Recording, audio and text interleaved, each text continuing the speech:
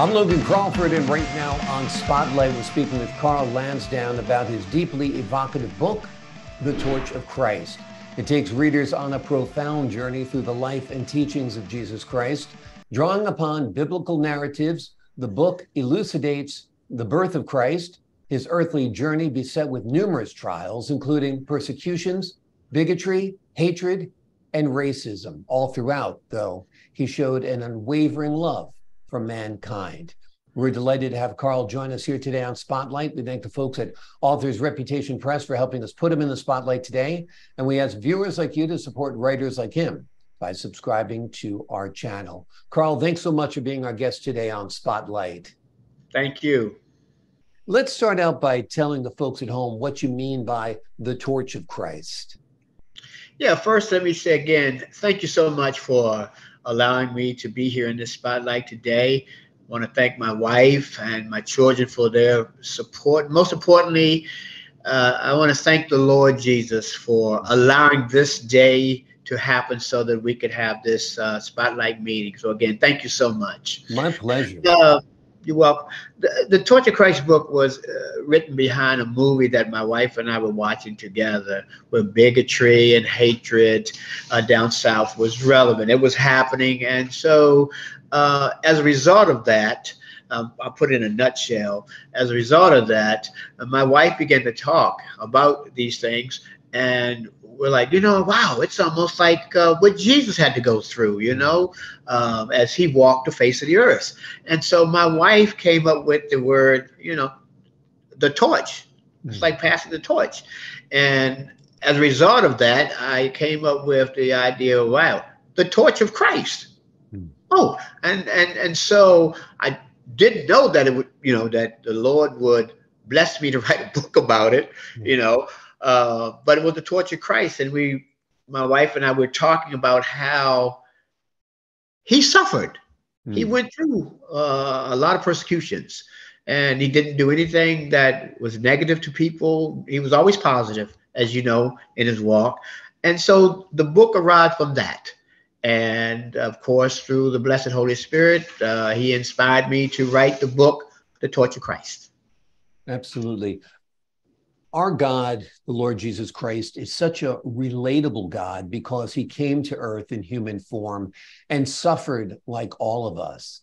Yes. And I think that is a central theme of your book that Christ knows the human experience, right? Yes, yes, yes. I agree with you 100%. And so, um, you know, from the beginning to the end, I mean, you know, he was he was born here for a purpose Mm-hmm. And the book is sort of portraying his life from the time that he was born through his journey. Yeah. And through his journey, as you know, again, he encountered many obstacles, mm-hmm. but yet um, he was passing it on, you know, and, and, and, you know, and he didn't force anybody. He gave us choices. Mm-hmm. You and I, we have a choice. We can choose him or we can not choose him. Right. Okay. He, he didn't say, I'm going to make you choose me. Yeah. No, he, he, he has given us a choice. However, he said, well, if you choose to go the way on the left, at the end of your life, this is what's going to happen. Yeah. If you choose to go on the right, at the end of your life, this is what's going to be happen. But most importantly, he never said that our journey would be easy. Yeah. You know, he didn't. He said that uh, we're going to face persecutions. We're going to face trials and tribulations. We're going to face all these things. But most importantly, what he said was to be of good cheer. I've overcome. And like you said earlier, you know, uh, we're going to face things. And it's just how we deal with it. You know, the beautiful part is uh, Christ never pulled out a gun yeah. to shoot somebody because they didn't like him. He just said, you know what? I got it. I understand. And what did he say? Love them that hate you. Yeah. So yeah, exactly. And, and to turn the other cheek and yes, uh, to uh, take the abuse at times rather than fighting back. Was there something new or different you learned about Jesus when you were doing your research for the book? Yeah, actually, you know, again, the choices. Mm-hmm. Um, that, that's what I sort of kind of got in after doing the research and looking at every you know, it, it was the choices that we make. Mm-hmm. And I looked at that and said, you know what? Um, he, you know, he didn't uh, treat us like we were puppets on a string. Mm-hmm. We have uh, a freedom of choice. Right. And so I, then, I, you know, as I was going through writing these things, I also looked at, well, wait a minute. He, he already told us that we're going to face the challenges. Wow, okay. Hmm. He already told us that we were going to go through all these things and looking way back and looking ahead of all that is going on today. Well, wait a minute. You know, it's like your, your it's like your mom or your dad that told you, son, daughter, no, you cannot use my car. Right. Okay. And yet, what do we do? We ask them, can I, can I, can I take the car? When dad's already said, and and mom and dad may look at you like you lost your mind because I've already told you, but they don't answer. Right. They don't answer. And it's like it's like the Lord. He's already given us everything, and so when something that doesn't go right, uh, we, we, we don't understand why. He goes, Well, the Lord didn't answer me. Yes, he did.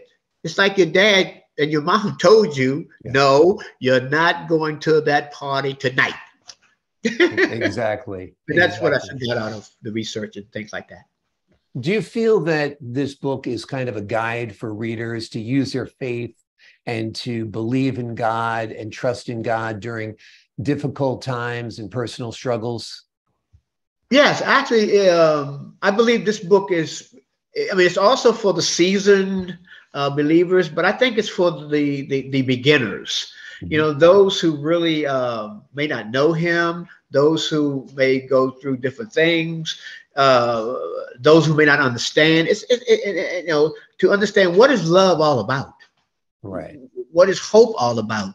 And I I, I believe it is it is, and it also it, it talks about yourself you know, in, in the book, you know, there there are things that say, well, what would you do if that was you? How would you feel?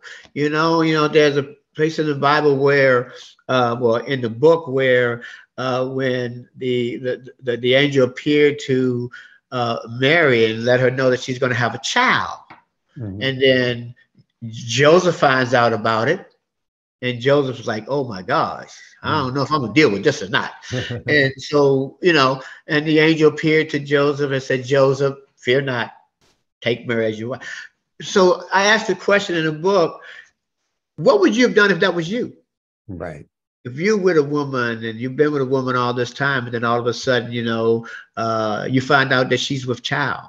Right. What would you do? Yeah. So these are the kind of things that is in the book to, to, to question you so that you can look at it and say, you know what? I'm no better than uh, I'm no better than Brother Logan. Right. I'm no different than he is. The only difference between the two of us is that we have skin color differences. Right. And yeah. And, and, yeah. We're all humans. We all have the same struggles, or we all have struggles. The struggles might be different for each person. That is correct. Yes. A clergy person once said to me, and it really stuck with me, that life is hard. And once you accept the fact that life is hard, it becomes easier. And uh, I think yes. that's the lesson of uh, Jesus as well, that, you know, there are yes. tough times. He was betrayed by everyone who swore to be by him and to love him. You know exactly. That is correct. And who hasn't been betrayed in this life? You know, you can't live more than a few months before betrayal. You know, is part of it, and pain is part of it, and hurt is part of it. Um, tell me a little bit about your spiritual journey. How did you get your love for the Lord? And uh, are you a churchgoer? Tell me a little bit about that. Um, uh, you know, um, wow. I'm trying to put it in a shell. Um, when I was about 10 mm-hmm. years of age, uh, or nine, eight, my aunt's friend uh, used to read the Bible to me and tell stories. He was, you know, a, a guy that taught a Sunday school class. And in that, uh, you know, uh, I began to, I listened. And so as years went by, uh, I think I was about 16 years old, 17 years old. And uh, uh, nobody was in my mom's house. you know. And so um, um, I'm praying mm-hmm. in the bedroom. And all of a sudden, I heard my name called. I had no clue. I ran out and I thought I was needed to go get some uh, groceries because they'd gone to the store to help unload groceries, and nobody was in the house. And I paid no attention to that. Years moved on. Uh, I began to, well, let me go back. For, for, for my grandmother raised me and my grandfather raised me, okay, from childbirth on up, mm-hmm. which I got a good foundation and understanding of a lot of things until they got sick. And I think I was about eight or nine, having to move with my parents. But mm-hmm. moving forward, um, I began to read the Bible at the age of six or seven years old. Hmm. I enjoyed it. I have no idea how to. I mean, I just enjoyed picking it up and I'd read about maybe two or three verses and I put it down. Yeah. And I have my mom's Bible today, this huge Bible that she had bought a long time ago. And from there, um, I, I, discovered at about 13, 14 years old when I was baptized, gave my life to Christ, that I started reading the Bible more and understanding about, wow, wait a minute. God chose me. Right. Ah, and then looking at my history, you know, uh, there were pastors in my family. Uh, my my dad, that I didn't know at the time because my mom and dad went out together. Well, he was a pastor. His hmm. grandfather was a pastor, and on down the line. So I look at this thing and said, "Wow, okay, I come from a bloodline of pastors. Mm. Now I understand, you know." And so from there, uh, I, I was with the uh, Church of God. Uh, I mm-hmm. was with the uh, Assemblies of God. Mm-hmm. You know, and, uh, I was the uh, interim pastor for Pentecostal Holiness Church, and from there, uh, I was the Christian education director in the Church of God. Mm-hmm. And finally, I realized something. Wow, this is beautiful, but yet I'm not doing what God really called me to do. And what did he say? Go out there, okay, and tell them, baptize them, you know, as he said at the end of the verse. So uh, now we have a ministry called the Lamb of God Family Ministries, and we have a church without walls. And so right. before COVID, uh, we did a lot of Bible studies uh, and had uh, 25 or sometimes 30, sometimes 10, sometimes 25, 40 people come to our Bible studies and one-on-one counseling. I enjoy doing that uh, because there are a lot of hurting people out here, yeah. and that's basically uh, the, the the story. Amazing, amazing. That is interesting that you came from such a long line of pastors. So obviously, theology and religion and uh, faith in Jesus is in your blood. Tell me a little bit about writing this book. Did it feel like inspiration? How long did it take you? Tell us a little bit about that process. I ran. I, will be honest, I ran. I mean, it, it was something that, you know, I'd start on occasion and I was okay, you know, and other books I've started, and, you know, uh, but it, this one here, I believe the Lord wrote. Mm-hmm. He just used me with the pen. Right. He wrote it. And so, uh, he was harassing me. and so I'm like, okay, all right, you want me to write. You want me to write this book. So that's what I did. Hmm. And through him, um, you know, sometimes, you know, uh, 10, 11, 12, 1 o'clock in the morning, I'm getting up writing. And so, uh, you know, uh, he inspired me. Yeah. And this is the first one. I mean, I have many others that I've started. Right. I've started, but right. there, you know, but this one here, I think he said, you know what? Um, see, I, I chose you to do something, yeah. but you being hard headed. Okay. So now I need to intervene and, you know, and so that's, that's where I am. Yeah. He applied a little pressure, got you to write it, and you were an instrument of his love and an instrument of his word. So that is wonderful. Who was the first person you gave the book to when you were done? Said, "Hey, read this." My wife. my wife was the first one that uh, I gave, and my wife was the uh, one that um, I said, "Honey, what do you think about this?" And so she would read certain things, and then God would touch her, and she would say, "Well, I think you need to do this, say this, and say that." And right. so we, we we basically did it together. Mm-hmm. We took action on it together. Um, but that's sort of kind of how it happened. I, I, did a lot of research, um, you know, uh, looking at pat, looking at scriptures and looking at different uh, things like that, and through the inspiration of the Holy Spirit, you know, um, and, and praying, right. you know, asking the Lord, Lord, um, and, and and before we had this interview this morning, I said, Lord, if this is of you, then you allow it to happen. Um, you know, it's all about you, not about me. You know, and uh, it's it's a, it, prayerfully this book will reach people that will help them. You know, um, as you know, being a believer, uh, there's nothing new that's happening. Mm. You know, if you look at if you look at the scripture, read the Bible, but if you look at what's happening in this world today, everything that the Bible talks about in this world today, the wars, the rumors of wars, the earthquakes, the famine, they're all happening.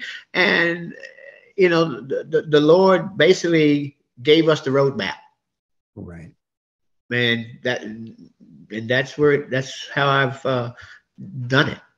Absolutely. When you look around the world today. You mentioned things haven't changed. When you look at some of the concepts you explore, like persecutions, bigotry, hatred, racism, do you feel like things are getting better? Do you think they're, they're, getting worse? Do you think that uh, people are drifting away from God too much, need to drift back more? What are your thoughts?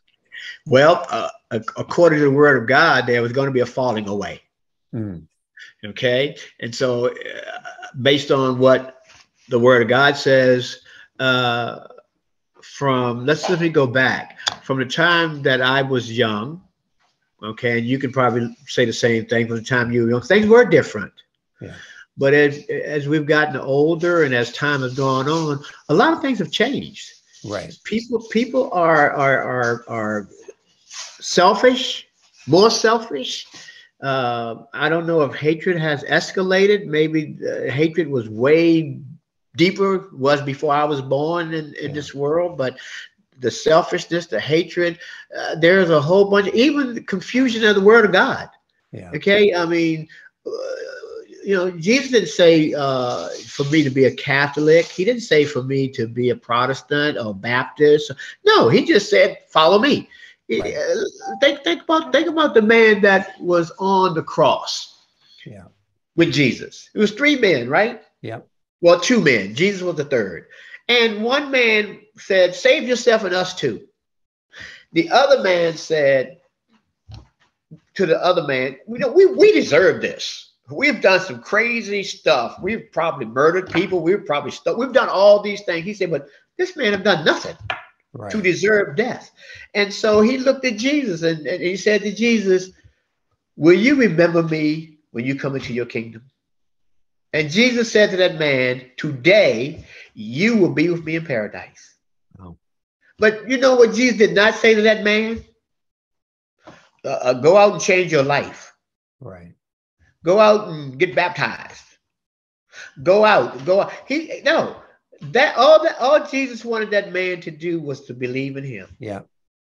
You know, and so we ministers, I had to say, oftentimes think that uh, we have to do different things in order to be saved. No, God never said that. He said He said believe in me, and and so and, and that's where I am in looking at this world and uh, getting back to the question where you asked, things are changing. Right. And Jesus and Jesus said, "I'm telling you this so that you will see these things as they're happening." Right.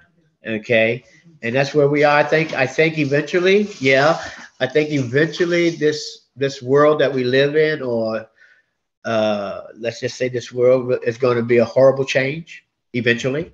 Because if it does not change and does not get worse or does not happen the way the Lord said it's going to happen ever, then he lied. Right. But he didn't lie. So we know that things will change, that uh, the second coming is coming. Um, and I think you put it very uh, eloquently before when you were talking about Jesus on the cross. And that's the simple message of he who believes in me shall never die.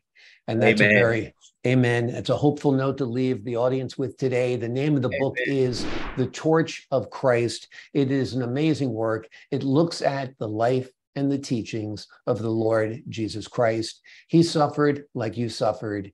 And this will be a guide for you to realize that there is hope, that there is a light, and that there is a loving Jesus and a loving God. It's been written by Carl Lansdown, and we are delighted to have him here today on Spotlight. Carl, thank you for joining me. I thank you so much again for having me. And uh, again, that you be blessed in, in, in what you're doing. I, I truly enjoyed and uh, thank you so much again. Thank you. I enjoyed our conversation as well. And to the folks at home, I'm Logan Crawford, thanking you for your time this time until next time on Spotlight.